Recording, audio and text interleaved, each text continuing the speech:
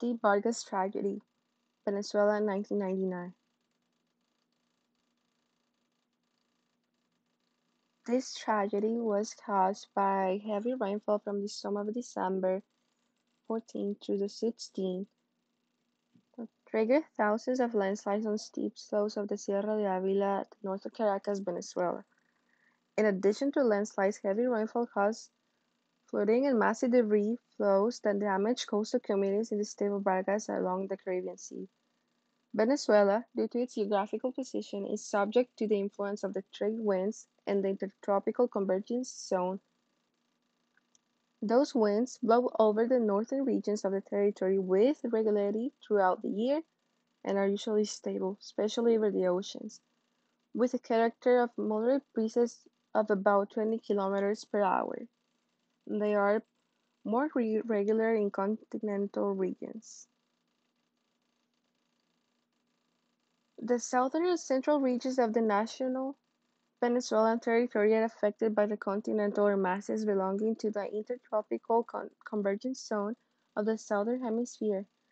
These masses produce very intense rains as a result of, of the recharge in the humid zones of the Amazon. Its influence is pretty noticeable for about seven months of the year, from May or June to October, and even November or December, as it was in this case. The magnitude of the event. Field observations of the severely affected drainage basins and historical records indicate that previous flooding and massive debris flow events of similar magnitude to the Vargas tragedy have occurred throughout this region.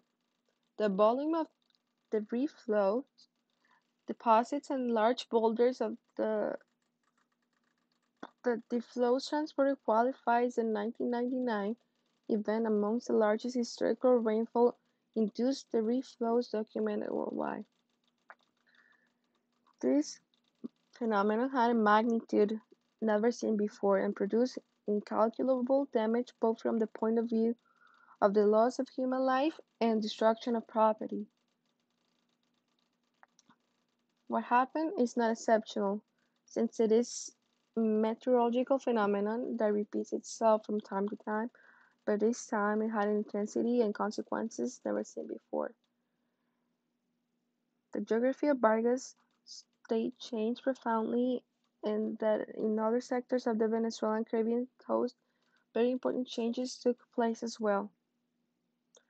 In summary, the consequences were 70% of the state's population was affected, 10% of homes were destroyed, five hospitals and outpatient clinics were damaged, black and white water systems collapsed, 85% trunk road destroyed, stoppage of the port, airport and recreational activity, 30% educational infrastructure was affected, 4,000 million in property damage. Figures of 12,000 to 15,000 victims are handled between dead and missing. On the first day of response to the emergency, the Minister of Defense estimated that this disaster had generated more casualties than the country's War of Independence. Contributions were received from many countries around the globe who sent different types of aid, especially food and shelter aid. This tragedy made us understand in a brutal and painful way that a disaster is not only the product of a natural phenomenon, but above all, of human intervention in the landscape of ignorance, of the level and development of the town, and the lack of planning in urban occupation, especially since Venezuela was going through a rough patch in its political system due to corruption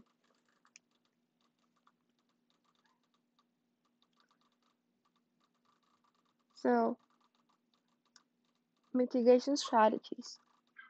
The selection and design of appropriate mitigation measures depends upon the rate of recurrence of events with different magnitudes and the economic feasibility and acceptability of preventing damage and casualties. More comprehensive field studies and analysis of the historic and prehistoric flood and debris flow events of this region are necessary to proceed with disaster mitigation planning. In particular, it is necessary to determine the magnitude frequency relationship between these events in sufficient detail for proceeding with implementation costly structural mitigation measures. The high magnitude and resulting consequence of damages from debris flows and flooding triggered by this tragedy indicates that mitigation is necessary to victimize, minimize future loss of life and property damage from events of similar or greater magnitude.